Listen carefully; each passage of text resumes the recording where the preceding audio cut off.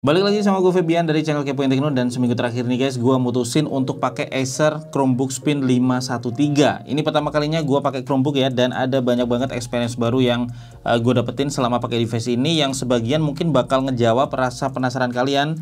Gimana sih rasanya pakai Chromebook di 2021 terutama buat kalian yang sama sekali belum pernah coba Nah mungkin hal pertama yang paling bikin penasaran adalah apa bedanya Acer Chromebook Spin 513 ini sama laptop mainstream yang lainnya. Pertama yang pasti OS-nya, karena ini Chromebook, sistem operasi yang dipakai adalah Chrome OS. Sebagian dari kalian mungkin masih asing ya sama Chrome OS ini, tetapi ini OS yang udah populer dipakai di kalangan pendidikan, kayak misalnya yang pelajar, uh, ataupun pengajar ya, bahkan kalangan kerja pun udah mulai banyak yang pakai Chrome OS ini. Dan seminggu pakai Chrome OS, gue ngerasa ini OS yang sangat simple ya. Jadi meskipun gue baru pertama kali pakai, gue bisa langsung familiar sama UI dan UX-nya. Apalagi buat pengguna Android, ini ada banyak banget ya kemiripan secara tampilan dan juga experience karena emang keduanya sama-sama dikembangkan oleh Google. Dan performa juga jadi hal yang beda ya, karena sebenarnya gue nggak expect performanya bisa seresponsif ini waktu lihat specs di atas kertas. Jadi Acer Chromebook Spin 513 ini dilengkapi dengan 4 GB RAM, 64 GB eMMC storage dan dia pakai prosesor Qualcomm Snapdragon 7C Compute Platform dengan GPU Adreno 618. Ini chipset octa-core dengan proses manufaktur 8 nanometer ya yang sebenarnya didesain untuk lebih condong ke power efisien terus kemudian low temperatur. Jadi targetnya lebih ke laptop yang tipis dan hemat baterai ya, bukan ke performa. Tetapi ternyata melakukan banyak hal di Acer Chromebook Spin 513 ini terasa cepat. Jadi mulai dari boot time-nya yang singkat ya, terus kemudian load aplikasi yang cepat, bahkan cari file dan aplikasi itu bisa muncul hasilnya dengan nyaris instan guys. Dan rupanya Chrome OS ini sangat ringan ya dan bikin Acer Chromebook Spin 513 ini bisa berjalan dengan mulus meskipun kalau kita lihat dari specs yang di atas kertas mungkin terlihat cukup standar.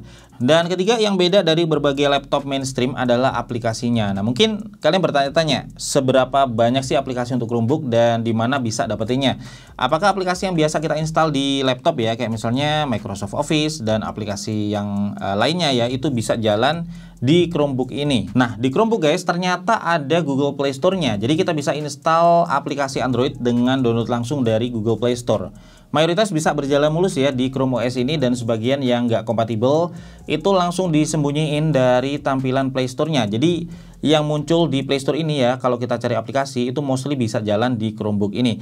Nah karena aplikasi Android itu banyak banget sebenarnya gue nggak begitu kesulitan ya waktu full time pakai Chromebook ini dan palingan cuman perlu hunting aplikasi yang pas aja buat kerjaan gua. Kayak misalnya untuk olah dokumen Microsoft Office itu bisa diinstal ya di sini dan secara fitur juga udah desktop class. Kemudian untuk grafis design ya di sini gua pakai Canva, terus untuk photo correction itu ada Adobe Lightroom dan berbagai sosmed kayak uh, YouTube, kemudian Twitter dan juga yang lainnya itu bisa diinstal guys. Bahkan sosmed yang sebenarnya cuman buat smartphone ya kayak misalkan TikTok dan juga Instagram juga bisa kalian install di sini Cuman secara tampilan emang ditampilin kecil potret ya kayak di smartphone. Jadi nggak full size window guys. Dan untuk pilihan browser juga banyak dan kita juga bisa atur ya di settingnya untuk always request desktop site. Jadi biar kita uh, bisa load website uh, versi desktopnya ya kayak waktu browsing di laptop. Nah mungkin kalian juga penasaran, bisa nggak sih Acer Chromebook Spin 513 ini dipakai buat ngegame? Karena gue sempat penasaran juga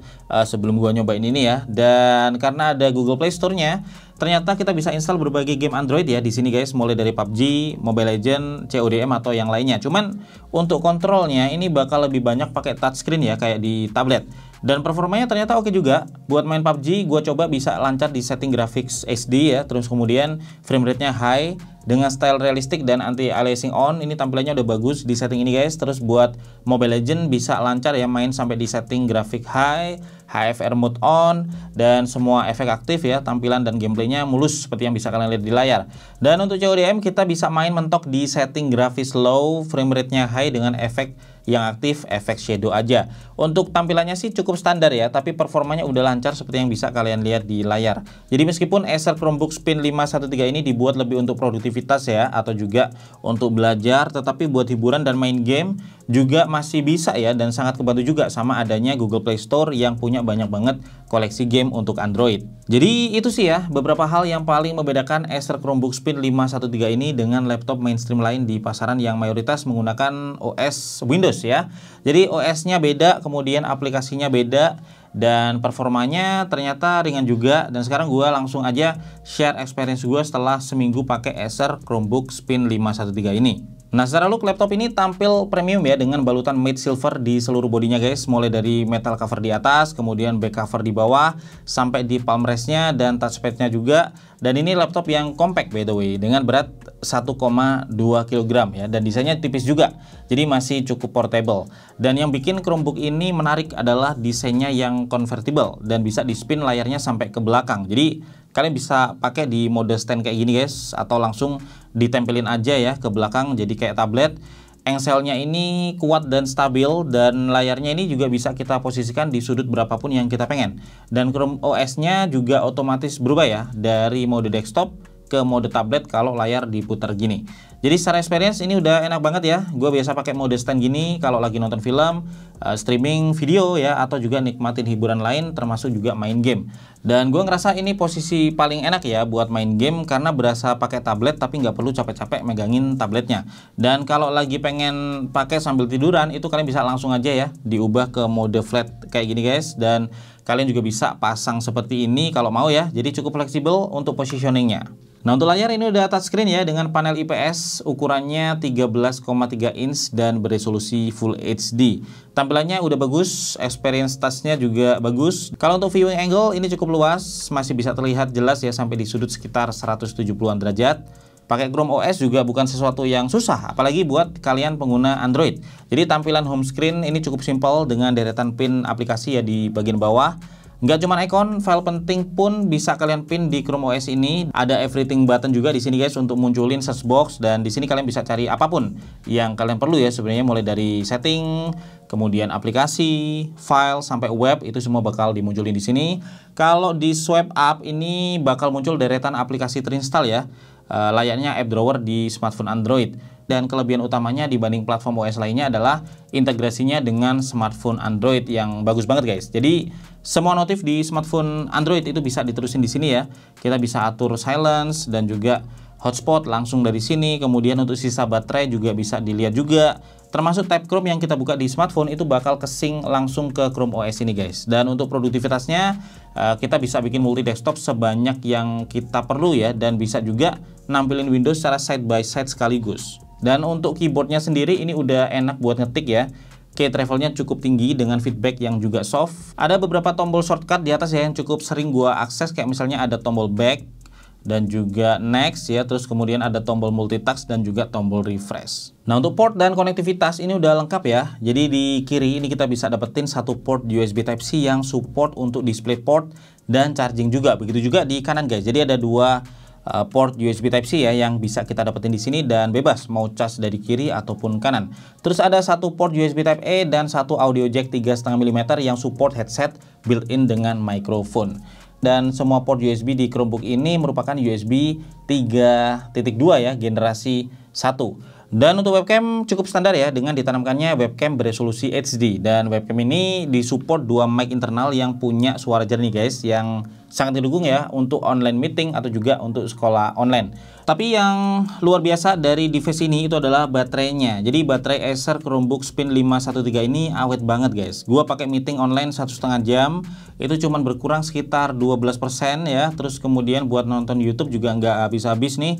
Eh, rata-rata uh, sih gua bisa pakai Chromebook ini sekitar 13 jam ya untuk penggunaan harian dan baterainya ini ngisinya juga cepet banget. Jadi sekitar satu setengah jam ngecas itu udah bisa penuh. Jadi ini salah satu uh, kelebihan dari Acer Chromebook Spin 513 dan kalau bisa gue simpulin guys ya seminggu pakai Acer Chromebook Spin 513 ini itu benar-benar mengubah ekspektasi gue akan sebuah Chromebook. Dari yang sebelumnya masih terasa asing ya bahkan sedikit ragu apakah bisa uh, memenuhi kebutuhan computing harian gua. Ternyata setelah pakai ini bukan cuma bisa, tetapi ada beberapa kelebihan juga dari Acer Chromebook Spin 513 ini yang mungkin sulit ya gue dapetin di laptop-laptop mainstream yang lainnya kayak misalkan e, baterainya yang awet banget terus kemudian proses chargingnya yang cepet nggak gampang panas juga dan OS yang responsif meskipun dengan specs dan harga yang uh, nggak terlalu mahal. Dan integrasinya sendiri dengan smartphone Android juga kayaknya sulit ya ditandingin sama laptop yang lainnya. Tetapi tentu kalian harus sesuaikan dulu uh, sama kebutuhan kalian guys akan sebuah laptop. Kalau kalian itu pelajar terus kemudian uh, pengajar ya atau juga orang tua yang aktivitas komputingnya lebih banyak diolah dokumen, kemudian browsing-browsing, streaming, meeting online atau juga aktivitas cloud lainnya maka Acer Chromebook Spin 513 ini bakal jadi pilihan yang pas ya karena dengan harga yang masih cukup terjangkau itu kalian bisa dapetin Chromebook eh, yang convertible ya dengan uh, look yang premium kemudian layar touchscreen yang bagus dan baterai yang awet juga dan fungsi yang bisa memenuhi kebutuhan kalian. Tetapi kalau misalkan kalian kerjaannya depend banget sama software yang memang belum ada di Google Play Store ya uh, kayak mungkin editing video atau yang lainnya Chromebook mungkin belum tepat ya buat kalian kalau gue sih nyaman-nyaman aja ya pakai Acer Chromebook Spin 513 ini karena aktivitas gue selain edit video uh, semuanya udah bisa di cover ya sama Chromebook ini dan ada dua model Acer Chromebook Spin 513 yang tersedia guys. Ada yang punya 4G LTE dan ada yang enggak dan kalian uh, bisa dapetin semuanya ya di Acer A Store dengan harga mulai 6,9 jutaan rupiah. Kalian bisa cek aja di deskripsi ya untuk uh, info lebih lengkapnya dan juga link pembeliannya. Semoga sharing gue ini bermanfaat guys, khususnya buat kalian yang penasaran sama Chromebook ya. Dan kalau kalian punya pertanyaan, silahkan sampaikan aja di kolom komentar. Gue Febian dari Kepinterno pamit dulu guys, kita bakal ketemu lagi di video teknologi lainnya besok.